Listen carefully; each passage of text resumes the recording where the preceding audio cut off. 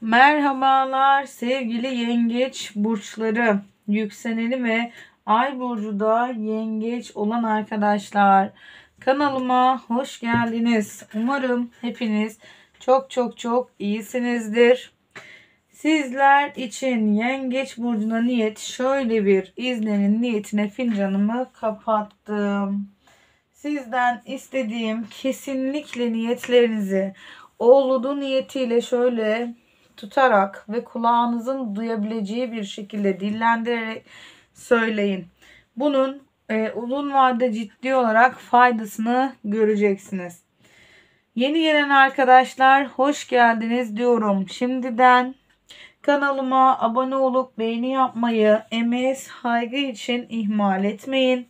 Yeni videolar için de bildirimleri açabilirsiniz.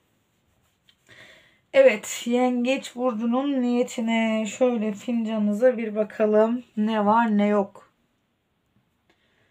Evet.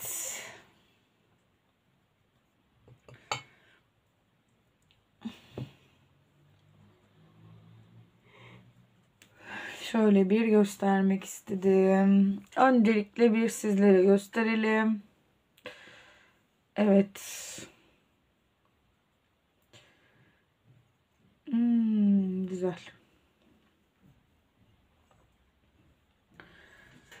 Evet sevgili yengeç burçları.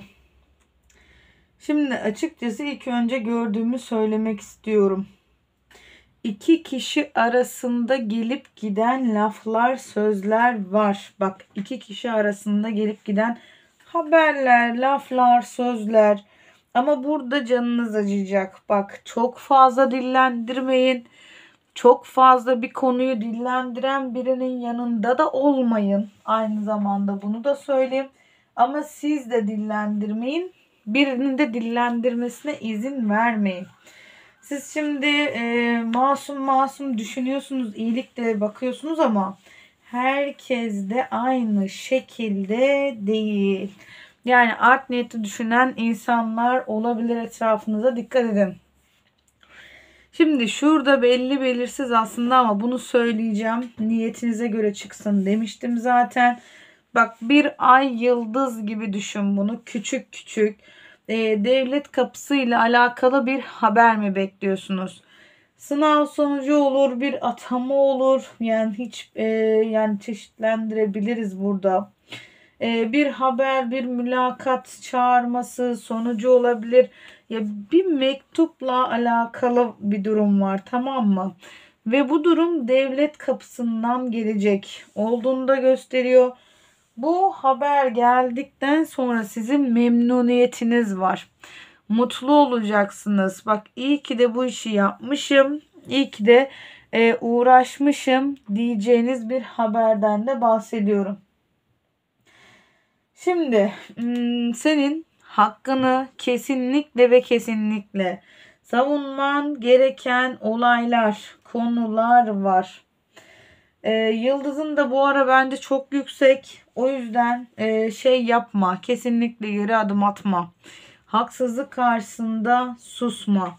Tam tersine ne kendine ne de bir başkasına yapılan haksızlık karşısında kesinlikle susmadan hakkını alabilmen de gerekiyor. Bu senin için çok çok çok önemli. Hakkını alabileceğin de bir zamandasın.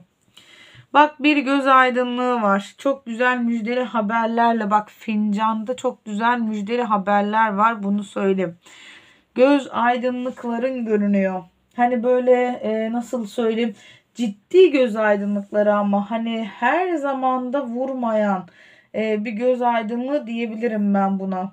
Çünkü ciddi olarak bir müddettir isteyip isteyip de yapamadığınız, elde edemediğiniz bir şeyler var ve burada e, tam da o tam da o konuda zaten bir göz aydınlığı yaşadığınızda gösteriyor.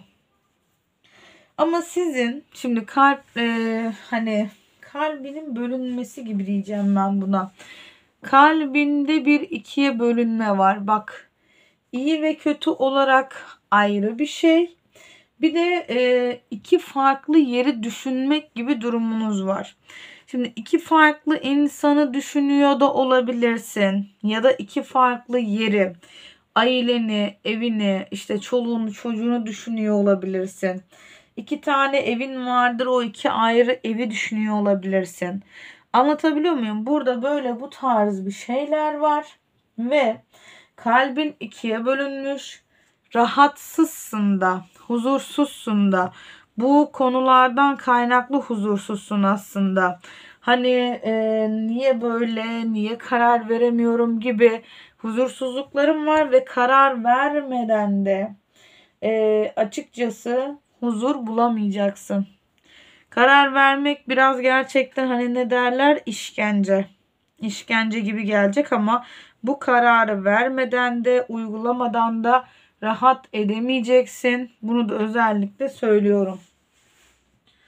Hmm, evet.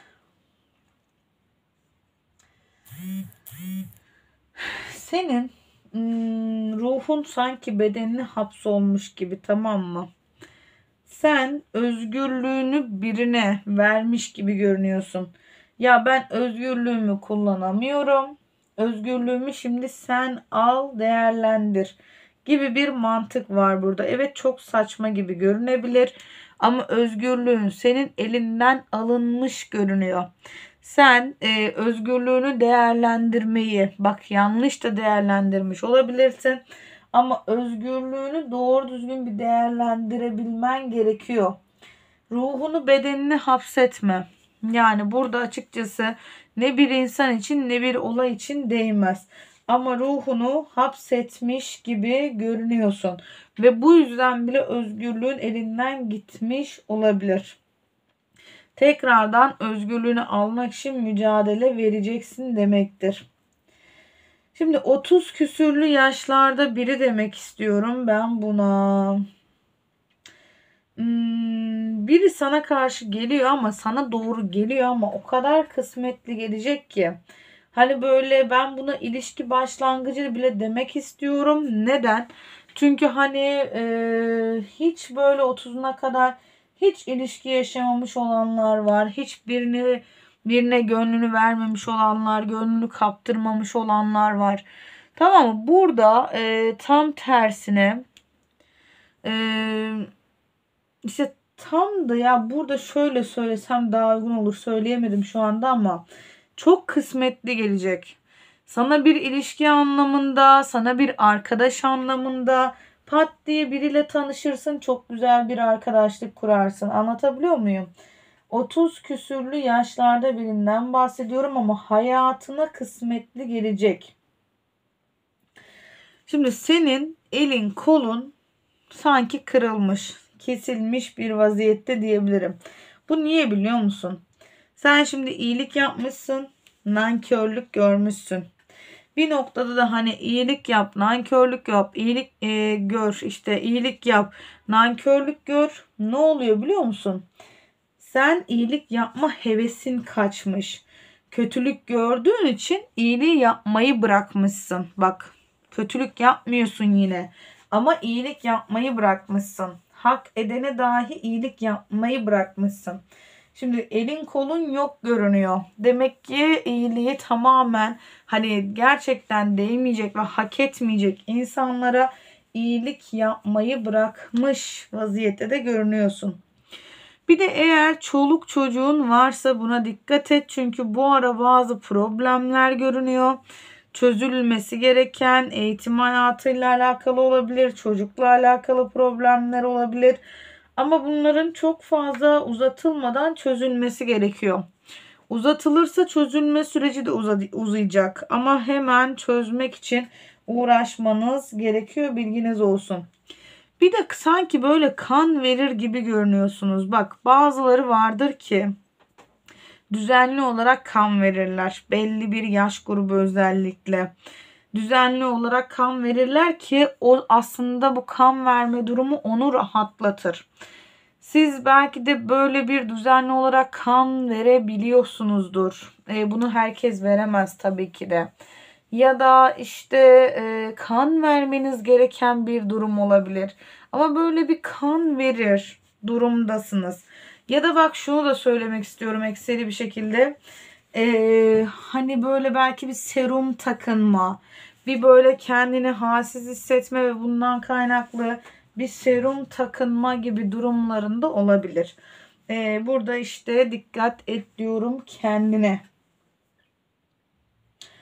Gitmek istediğim bir yer var ki çok kafana oturmuş aslında. Sanki plan program bile yapmışsın. Bak bir yol yok ama onu söyleyeyim. Bir yolun yok. Ama sen gitmek istediğin bir yer var. Şu zaman giderim. Şöyle yaparım. O zaman şöyle olacak. Böyle olacak gibi durumların görünüyor.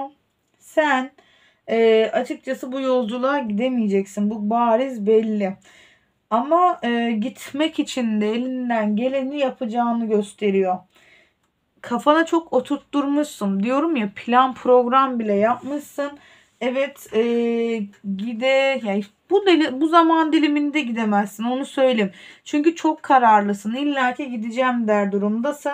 Ama şu zaman diliminde değil de biraz daha ilerleyen zamanda e, gidebileceğin bir yer olabilir. Bak sen hmm, aileden alınan bir güç var tamam mı sende? Belki maddi de olabilir bu bunu da söyleyeyim ama manevi de olabilir. Aileden aldığın güçle beraber birilerine e, laf söz söylüyorsun. Şimdi aileden alınan güç mal, mülk, para anlamında bunu da kesin olarak söyleyeyim. Bir miras durumu ve paran olduğu için daha iyi diklenebiliyorsun mesela. İşte bak ben de bunu yaparım, ben de şunu yaparım, benim dediğim olacak gibi ee, bir takım konularda evet evet yani bu gücünü kullandığını da söylemek istiyorum. Parça parça eksildiğini görüyorsun değil mi? Bak parça parça eksilmelerin var. Yaşadığın sıkıntılar, kötü olaylar, birilerinin sana yaşattığı nankörlükler.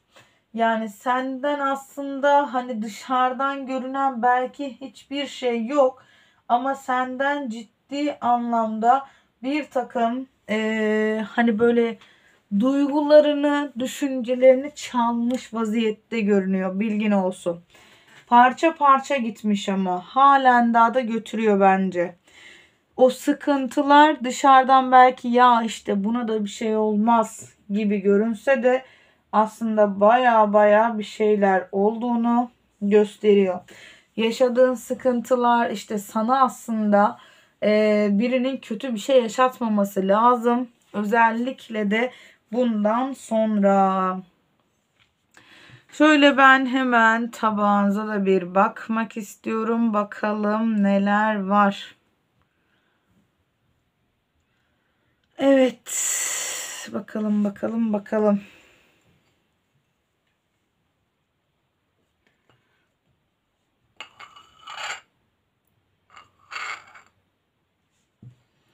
Şöyle sizlere hemen bir göstermek istedim.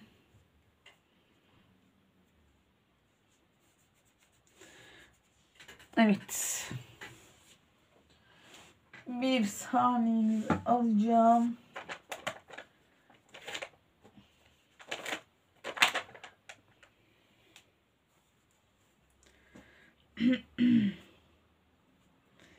evet.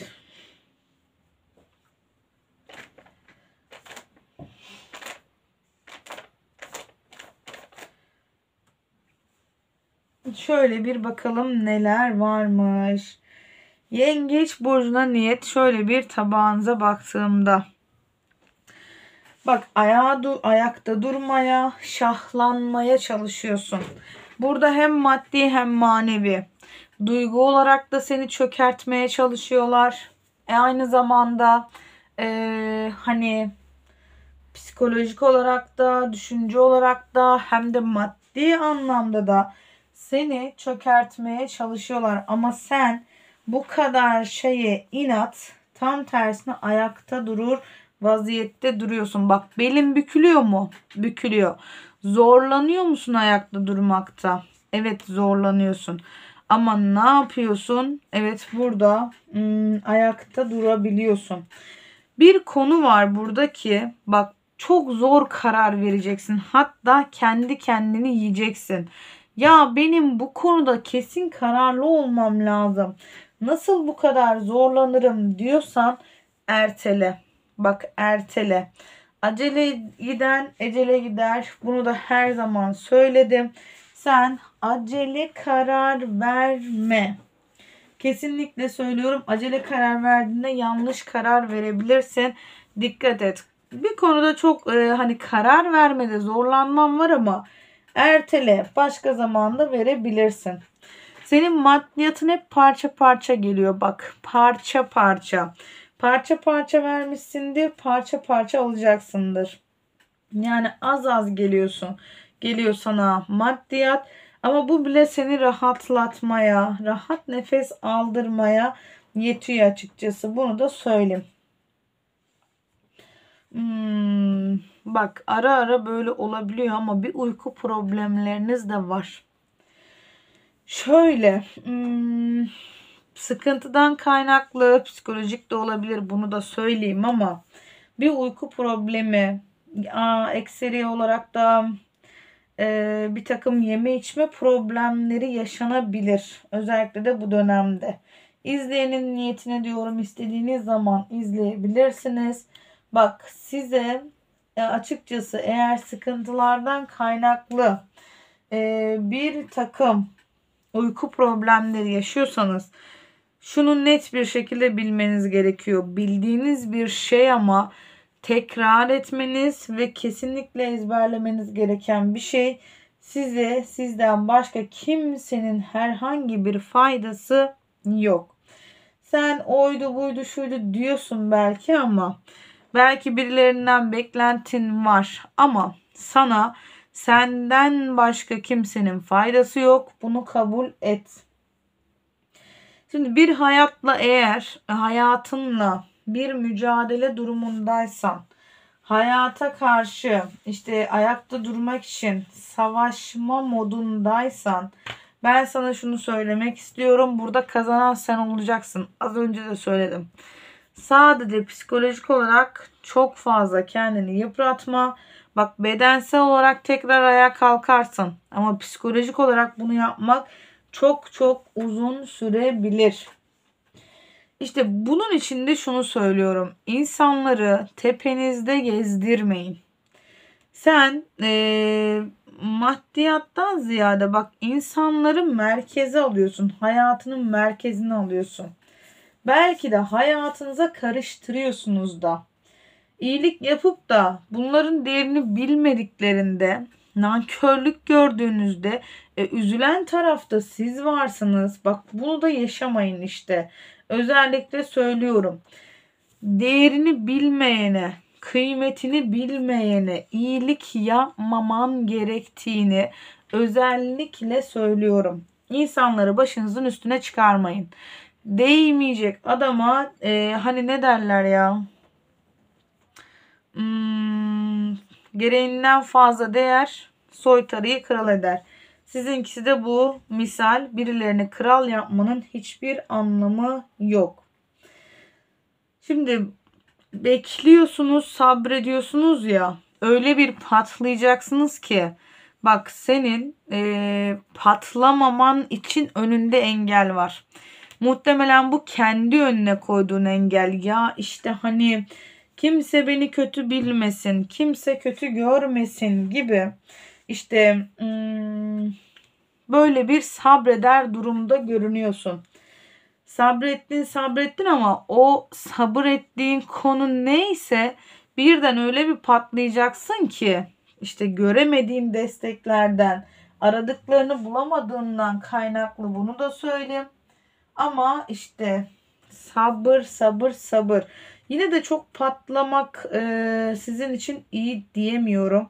Sadece bir noktada içinizdekileri boşaltacaksınız ve bu da bir rahatlamaya vesile olacak. Evet, şöyle bir bakacağım tabağınıza. Evet, evet, evet. Şöyle hemen kenara alalım. Bir bakalım, bir bakalım, bir bakalım. Şimdi yengeç burcuna niyet. Şöyle bir tarot açmak istiyorum. Tabii ki de sizler de bu aşamada lütfen niyetlerinizi oldu niyetiyle şöyle bir dillendirin.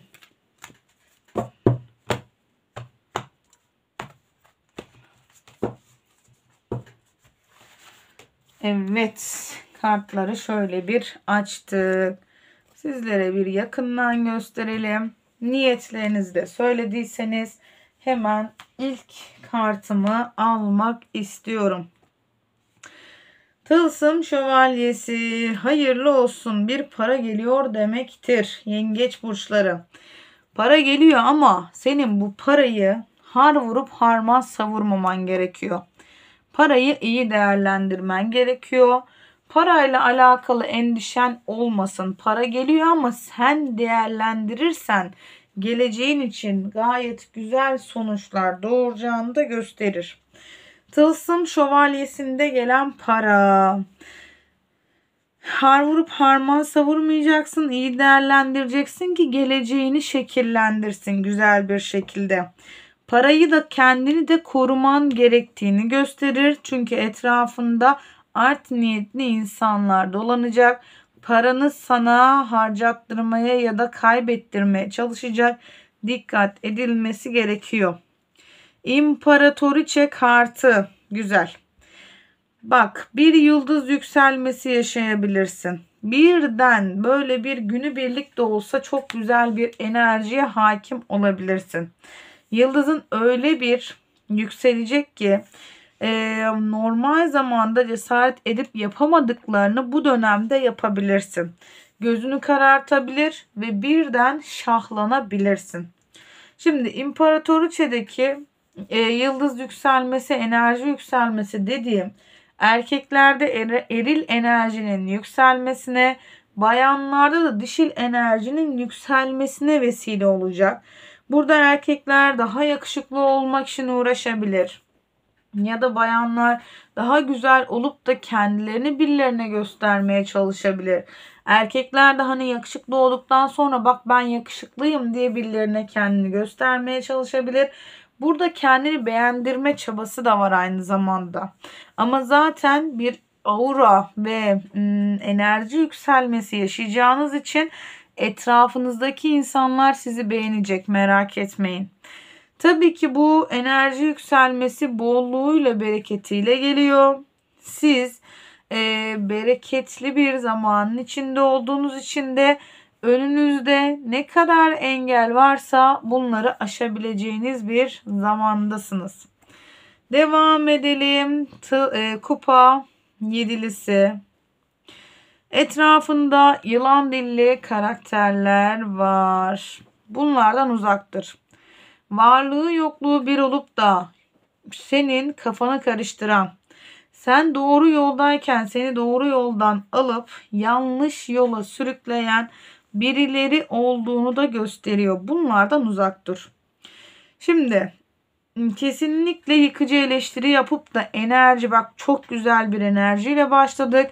Bu enerjini düşüren insanlardan uzak durman da gerekiyor. Bir e, başarı durumun var.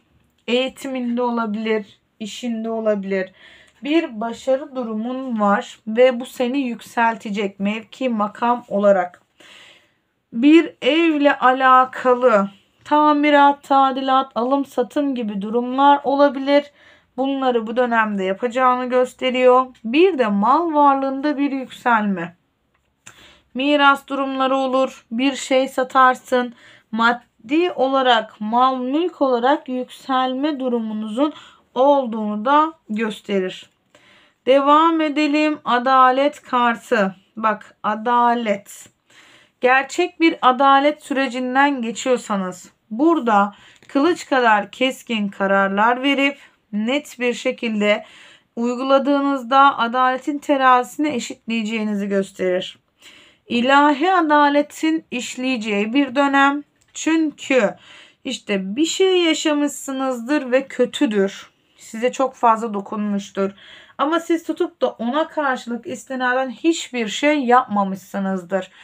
Ee, yani bir cevap vermemişsinizdir. Size yapılan kötülüğe bir cevap vermemişsinizdir. İlahi adalete bırakmışsınızdır. O sorsun demişsinizdir ve şu anda o ilahi adaletin tecelli edeceği bir zaman dilimine giriş yapıyorsunuz. Değnek şövalyesi. Geçmişe bakmayın. Geçmişte durup durup düşündüğünüz konular bu dönemde çok fazla gündem olmamalı. Sizin hayatınızda geçmişe dair ya keşke şöyle yapsaydım. Keşke şu da şöyle olsaydı gibi şeyler açıkçası sizde bak özellikle söyleyeyim sizde e, şey değil böyle geriye dönmemeniz gerekiyor. Mutlu mu olmak istiyorsun? Geçmişi bırak. Huzurlu mu olmak istiyorsun? Kesinlikle geçmişi bırakman gerekiyor. Sen e, burada geleceğine dönmen, geçmişte e, ne yaşadıysan bırakman gerekiyor. Geçmişte bir şeyi bak bunu da söylemek istiyorum. Geçmişte diyelim ki bir iş kurmaya çalıştın ama işi kurdun bir ay sonra yürütemedin dükkanı kapattın diyelim. Şu anda değnek şövalyesi der ki geçmişte başlayıp da devam ettiremediği ne varsa şu anda tekrardan denediğinde bak bunu imparatoriçe kartına dayanarak da söylemek istiyorum. Değnek şövalyesi ile beraber şu anda tekrardan o işe giriştiğinde güzel sonuçlar doğurabilir. Bilginiz olsun. Devam edelim. Kılıç Kralı. En güzel gelecekten bahseden kartım. Geçmişi zaten bırakıyorduk. Gelecekle alakalı uzun vadeli planlar, mantıklı kararlar, mantıklı planlar yapılması gerekiyor. Geleceğini şekillendirmeyenler varsa halen daha gelecek şekillendirilmeli diyor. Ve e, gelecekle alakalı plan programları icraata geçirecek zaman dilimi. Bak hiç beklemediğin bir yerden hiç beklemediğin bir haber alacaksın. Şaşıracaksın, kızacaksın, öfkeleneceksin. Bu çok ayrı bir konu. Ee, ama hani böyle bazı insanlar vardır ya e, bir olay olur ama ya bunu da sen yapamazsın ya. Bu kelimeyi de sen kullanmamışsındır diye düşünürüz ya. O tipte insanlar. Şu anda tam da öyle bir şaşkınlığınız var. Bak bir şey yaşayacaksınız ama burada yaşadığınız şey yani olumsuz da olsa başta bir büyük şaşkınlığınız var. Yani yakıştırmadığınız olaylar olabilir. Tılsım kralında da bir para var ama burada tılsım kralındaki para bak miras olarak değerlendirin. Bu parayı sizden almaya çalışan ya da hakkınızı yemeye çalışan birileri var. Ve burada e, kesinlikle bu kişileri mağlup edip de parayı alabileceğinizi gösterir. Bu parayı iyi değerlendir. Bak miras durumlarını kesinlikle iyi değerlendir. Çünkü bu sana başarı getirecek ve uzun vadeli güzellikler sunacak diyebilirim. İmparator kartı bak imparatoriçe geldi. Güzel geldi. İmparatoriçede ayrı bir güzellik var. İmparatorda ayrı bir güzellik var. Hissiyatınıza güvenin bu dönemde. Hissiyatınız sizi doğru yönlendirecek. Yanlış yola girseniz dahi doğru yola sevk ettirecek. Burada kesinlikle duygu düşüncelerinize önem vereceğinizi gösterir. Kendinizi koruma altına almanız gerektiğini gösterir. Bir de İmparator kartı diyor ki sen e, bu dönemde şüphe duyacaksın. Birinin sana bir şey anlatmasından şüphe duyacaksın. Birinin sana anlattıklarını e, tereddüt edeceksin. Doğru yoldasın. O tereddüt ettiklerinde bir şeyler olduğunu da gösteriyor. Devam edelim tılsım ikilisiyle. Şimdi tılsım ikilisinde hayatında bir takım dengesizlikler var. Sen bu dengesizlikleri dengeye sokmaya çalışırken bir tarafı dengeye sokuyorsun bir taraftan denge bozuluyor. Dengeye sokarken şunu düşünmen gerekiyor. Tamam sen dengeye sokarsın ama e, senin hayatını dengesizliklere sürükleyen kim? Yani tam tersi sen dengeyi düzeltmeye çalışırken aslında bir nevi dengesizlik çıkartan insanları hayatından çıkarsan senin için daha iyi olacağını da söyler. Bilginiz olsun. Evet sevgili yengeç burçları, yükseleni ve ay burcu yengeç olan arkadaşlar pozitif enerjiyi alın lütfen negatif enerjiyi bırakın gitsin. Yeni gelen arkadaşlar varsa hoş geldiniz. Kanalıma abone olup beğeni yapmayı lütfen ihmal etmeyin. Tekrardan yeni bir açılımda görüşmek üzere diyorum. Kendinize çok çok çok iyi bakın. Her şey gönlünüzce olsun. Hoşçakalın.